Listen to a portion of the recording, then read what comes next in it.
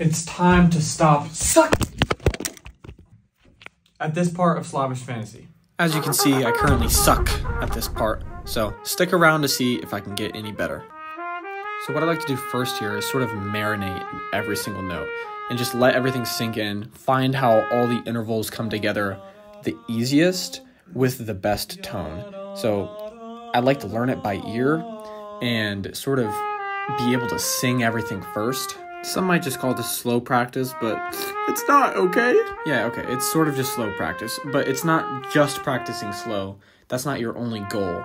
Your goal is to really listen and make sure that the horn in your hands is vibrating the entire time. And if you do this with everything that you play really slow and you spend this time, you might be like shocked at how much better your body and like brain learns the material. You'll come back to it the next day and just be infinitely better at it because you took the time really diligently to calibrate it for yourself. And that's how that's how people get to that next level of it just sounds like they're not even making mistakes. It's because they're using the least amount of effort to do everything because they spent the time slowly enough to find where that is.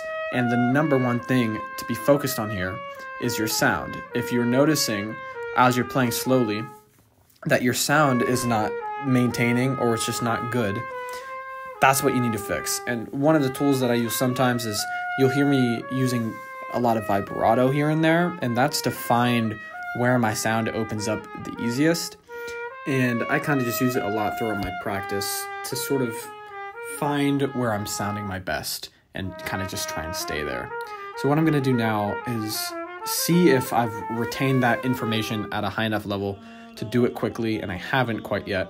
And yes, the end goal is to be able to double tongue some of this as well, but I'm just going to leave out that factor for now and find where playing it quickly and slurred, find where I'm not quite calibrated yet. And I hate using that word over and over, but I have found that sort of this sort of practice, it really just does calibrate you to when you have to play it like correctly and as written, you can just suddenly do it because you spent you spent the time just to make it ingrained in your body.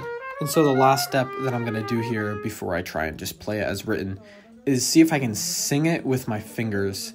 And this has always helped me for double tonguing passages and just even other passages. If you can sing it with your fingers in time, which I'm kind of not quite there yet, um, and you've done like the slow stuff, it just locks in. So let's see if I can play it.